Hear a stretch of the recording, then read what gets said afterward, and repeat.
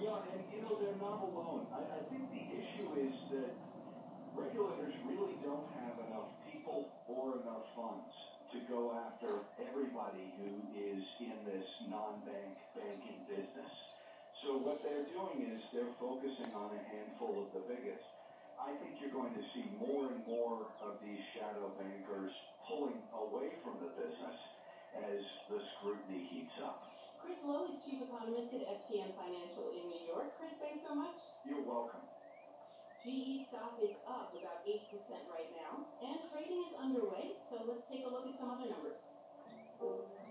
And they are mixed this morning. The Dow is pretty flat, down only slightly. The S&P is up a tenth of a percent, and the Nasdaq is down just a little. The path that leads from training for a job to landing a job can be arduous. LinkedIn, the professional social network, hopes to profit by guiding job seekers. The company has bought an online learning site called lynda.com for $1.5 billion. Lynda's videos teach workplace technical skills like Photoshop and coding. LinkedIn says the purchase will help it connect job seekers with jobs. Marketplace's Nova Safo has the story. Lynda.com, a place you go for those online video courses on lots of uh, exciting topics. Welcome to Excel 2013 tips and tricks. Okay, not exciting, but perhaps useful. Whether you need to create formulas quickly, create charts in a flash, you can save time by learning some of the tips in this course. Useful if you're in the charts creating business or interested in photography or coding, and useful in terms of LinkedIn's goals. This isn't cradle to grave, but this is diploma to retirement. Mark Mahaney of RBC Capital Markets says LinkedIn has a broad strategic ambition to build out kind of the entire ecosystem around training, job recruitment, hiring, talent development. But the acquisition also has pitfalls for LinkedIn, says Colin Gillis of BGC Partners. You're paying $1.5 million for a business that is a subscription business and may come into pressure from free sites such as YouTube. But says Lynda.com and LinkedIn should be able to compete on quality, if not on price. I'm Nova Sock with Marketplace. Marketplace Morning Report is supported by Battelle. Battelle's NeuroBridge technology is helping a paralyzed man to move again. Learn more at battelle.org. And by Kronos, with cloud-based workforce management solutions designed for organizations to maximize their most valued asset, their workforce. Kronos.com. Kronos, workforce innovation that works. And by the Weinstein Company's new film, Woman in Gold, based on the true story of a woman stopping at nothing to get what was taken from her family by the Nazis, starring Helen Mirren and Ryan Reynolds. Now playing. We all know that California is grappling with a historic drought. But in U.S., we often take for granted that our drinking water is very cheap and very easy to come by. For much of the world, that isn't the case. In Mexico, for example, it can be cheaper to buy a soda than a bottle of water. And the Mexican government is worried about the consequences for public health. Andy Uhler sent us this report. When I walk into a small restaurant next to the bus stop for lunch in the border town of Nuevo Laredo, almost every table has four or five soda bottles on it. Now, this isn't a big restaurant, less than 20 tables, and I asked my waiter how many sodas he thinks they sell every day.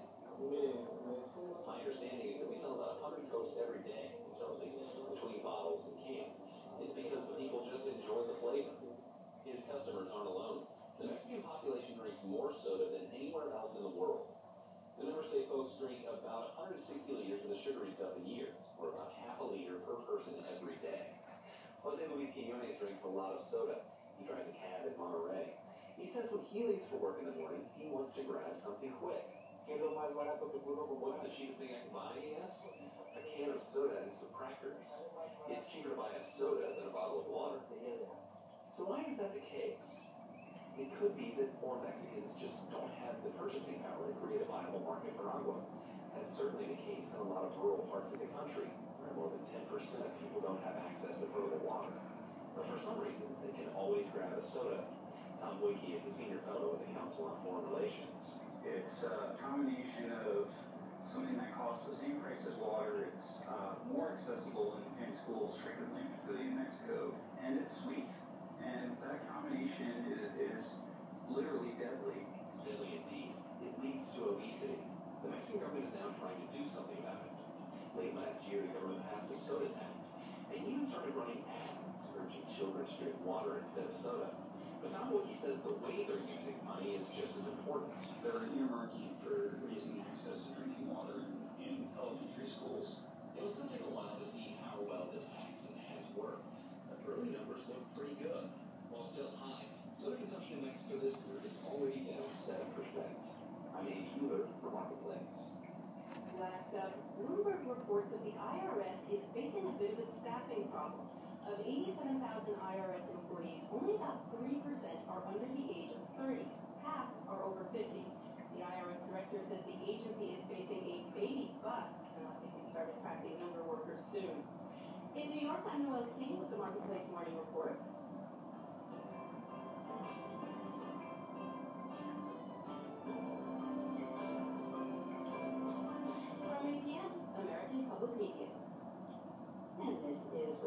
Public Radio, where there's more news on Saturday and Sunday, with weekend edition from 7 to 9 a.m. and weekend all things considered from 4 to 5 on both days.